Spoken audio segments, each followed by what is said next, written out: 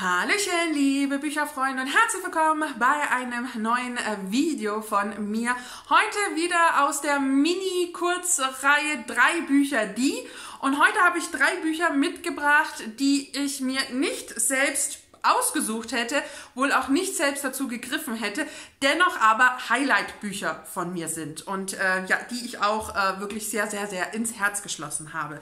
Ich ähm, habe dazu bereits einen ersten Teil zu Stephen King Büchern hochgeladen. Ich werde eine eigene Playlist erstellen, die findet ihr unten in der Infobox. Äh, schaut da dann auch super gerne mal vorbei. Es werden auch noch weitere äh, ja, Videos dazu folgen, denn ich habe einige Fragen sozusagen oder Aufgaben von euch via Instagram bekommen, findet ihr auch unten in der Infobox und das werde ich jetzt so nach und nach, äh, werde ich mir die Bücher aussuchen und euch dann auch in Videoform zeigen. Das ähm, erste Buch ist auch somit das älteste Buch, was ich vor zig Jahren, also bestimmt schon 20 Jahren geschenkt bekommen habe. Ich weiß gar nicht, ob ich damals irgendwie einen Vermerk gemacht habe. Ähm, wahrscheinlich nicht und es ist auch nicht diese Ausgabe. Es ist äh, ja Interview mit einem Vampir von Anne Rice. Das ist mittlerweile schon meine eigene Ausgabe, die ich dann nachgekauft habe, denn die erste Ausgabe, die ich bekommen habe, war schon bei weitem älter und zerfledderter und wurde mir aber von einer lieben Freundin meiner Mama so ans Herz gelegt und die hat gesagt, Mensch, du möchtest was über Vampire lesen, dann greif da dazu. Und es ist eben die Geschichte von Louis und äh, der äh, sehr schwere Schicksale erlebt hat, der in, in, New Orleans lebt und eines Tages trifft er auf Lestat, der ihm dann eben auch zum Vampir macht. Und wir haben hier auch eine Lebensgeschichte, die im Grunde von Louis hier dem Reporter erzählt wird, deswegen auch Interview mit einem einem Vampir und äh, der eben die Lebensgeschichte erzählt, wie er sein Vampirsein empfunden hat, wie es mit anderen Vampiren war, wie das Verhältnis zu Menschen wurde, wie sich die Zeit verändert hat und eben auch von großen Lieben, großen Freundschaften und großen Schicksalsschlägen erzählt.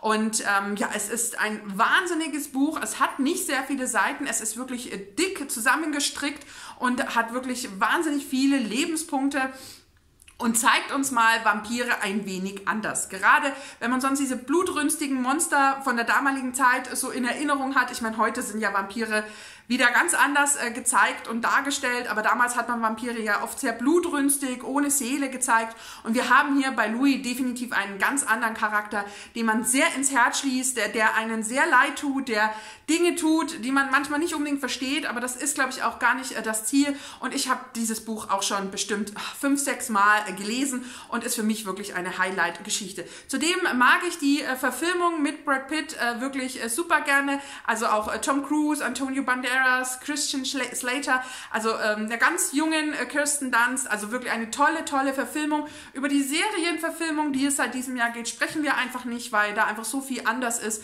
Ähm, ja, da spreche ich mal in meinen Serienfilmrückblick äh, drüber. Äh, das ging für mich gar nicht, aber ein tolles Buch, was Vampire wirklich einfach mal einzigartig anders gezeigt hat und hierzu wirklich äh, große Freude gemacht hat und mich äh, wirklich nachhaltig auch auf diese Welt äh, so gebracht hat, auf das Übersinnliche und auf die Vampire Vampire und ähm, ja, so das Dunkle, äh, was es irgendwie geben könnte, näher gebracht hat. Ein Buch, was eine Empfehlung von der lieben Becky war, was die ihr ja auch schon auf meinem Kanal kennt, ist äh, Die Stadt der träumenden Bücher von Walter Mörs. Das hat sie mir so, so, so, so, so ans Herz gelegt, äh, dass ich es mir zugelegt habe, beziehungsweise dann auch das Hörbuch äh, ja, jetzt muss der Hund trinken, beziehungsweise auch das Hörbuch von Dirk Bach gesprochen gehört habe. Und das ist Fa Fantasy, die wirklich so fantasievoll ist, dass man sich denkt, wie kann sich das ein einzelner Mensch eigentlich ausdenken? Walter Mörs schreibt hier eine Welt, die ist bildhaft, die ist lebendig, die fühlt sich einfach nur buchnördig gut an und die macht einfach großen, großen Spaß. Also ich hatte wahnsinnig viel Freude beim Hörbuch hören. Ich habe wirklich mit Dirk Bach äh, mitgefiebert und hatte hier wirklich äh, tolle Unterhaltung und ich, ich, ich, ich finde diese ganze Welt rund um Zamonien einfach toll. Es sind mittlerweile noch einige mehr Bücher hier unten, hier unten, nein, hier oben, Nein, wo stehen sie? Hier oben. Bei mir eingezogen und ich habe auch einiges schon gelesen und ich glaube, alle Fans warten jetzt auf den dritten Band, der glaube ich aber immer noch nicht angekündigt ist, wenn ich mich nicht täusche. Ich habe noch den zweiten Band hier auf dem Sub. Äh, mir wurde aber empfohlen zu warten, bis irgendwie der dritte angekündigt ist. Und äh, ja, wir sind hier eben unterwegs äh, und mit äh, Dichter, genau Hildegunst von Mythenmetz und der ist auf der Suche nach einem Manuskript und ähm, ja, das, das führt ihn dann eben nach Zamonien und wir treffen da Buchlinge, wir sind in einer Gesellschaft, die Bücher über alles liebt, die das Lesen total fesselt und toll findet. Und ja, ich hätte wohl nicht zu diesem Buch gegriffen, äh, wenn nicht Becky so geschwärmt hätte ähm, und sie das mehrmals gemacht hätte und äh, ja, sie auch immer wieder erzählt hat, wie toll das ist, die Welt toll ist. Und dann habe ich von ihr auch noch ein Weihnachtsbuch geschenkt bekommen, habe mir selbst eben auch noch andere Werke besorgt und habe große, große Freude bei Walter Mörs einzutauchen. Das Buch steht jetzt so ein bisschen stellvertretend für die Reihe und äh, ja, habe ich sehr, sehr, sehr geliebt. Ein Highlight, was erst dieses Jahr zum Highlight wurde, aber ganz gut passt, Gast ist tatsächlich die Tintenherzreihe von Cornelia Funke. Auch schon öfters über den Weg gelaufen. Letztes Jahr tatsächlich so zufällig mit äh, zwei, drei Leuten unabhängig voneinander gesprochen.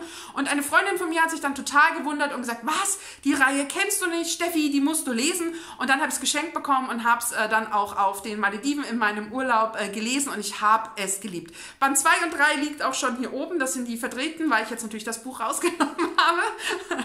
Und ich, ich muss sagen, es ist wahnsinnig fantasievoll. Diese Welt, in der jemand vorliest und dann entspringen die Charaktere aus den Büchern, dass das auch gewisse Konsequenzen birgt und dass wir dann eben Charaktere, die dadurch äh, in unsere Welt gekommen sind, nun irgendwie einfangen müssen, um irgendwie wieder das Gleichgewicht herzubringen, was das für eine Bürde ist, aber gleichzeitig für eine Freude eigentlich äh, zu sagen, ich kann diese Magie fühlen und weitergeben und dieses Vater-Tochter-Gespann und das war einfach toll. Wir haben ja auch so eine kleine Reise durch durch die Welt, in der wir uns eben befinden. Und wir treffen auch verschiedenste Charaktere, die auch sehr liebenswürdig sind, die, die wirklich die Geschichte voranbringen, die sie vorantragen auch. Und das macht einfach Spaß. Auch diese Buchcharaktere, die ja gar nicht wissen, dass sie eigentlich nur ja aus einem Buch entsprungen sind, sondern ja eigentlich denken, sie sind hier in ihrer richtigen Welt und gar nicht das verstanden haben dass sie nur Buchcharaktere sind. Also einfach großartig. Ganz, ganz, ganz toll. Gibt es ja auch eine Verfilmung, die habe ich mir aber noch nicht angeschaut. Äh, möchte jetzt auf jeden Fall auch mit Band 2 und dann 3 weitermachen. Ich möchte weiter in dieser Welt umhergehen und das ist wirklich ein toller Auftakt gewesen. Spannend, packend, fantasievoll, bildhaft, toll geschrieben. Äh, hier hat mich Cornelia Funke wirklich total abgeholt und ich hätte wohl nicht zu dem Buch gegriffen, wenn nicht zwei, drei Leute äh, tatsächlich gesagt hätten, Steffi, das kann doch gar nicht sein. Und letzten Endes mir sogar eine liebe Freundin dieses Buch schenkt, dann wäre das Buch wohl immer noch irgendwo im Nirvana und nicht irgendwie auf meiner Highlight-Liste.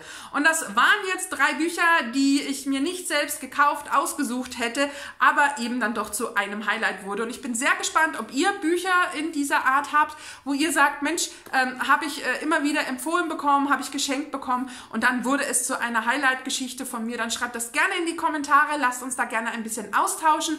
Und ich danke euch jetzt fürs Zusehen, wünsche euch noch einen schönen Tag, einen schönen Abend und dann bis zum nächsten Video. Macht's gut. Tschüss, eure Steffi.